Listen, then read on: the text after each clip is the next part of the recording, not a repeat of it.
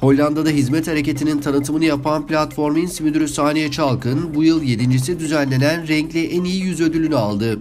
Çalkın ödülü Hollanda'daki toplumsal ayrışmaya karşı mücadelede platform ins olarak gösterdikleri çaba ve birlikte yaşama sanatını topluma yayabilme gayretleri nedeniyle aldıklarını söyledi.